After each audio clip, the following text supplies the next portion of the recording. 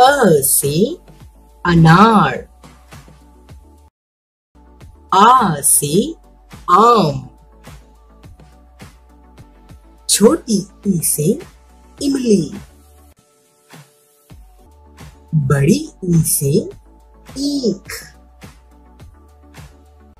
छोटी ऊ से उल्लू. बड़ी ऊ से ऊन. से ऋषि ए से एड़ी ऐ से ऐनक ओ से ओखली औ से औरत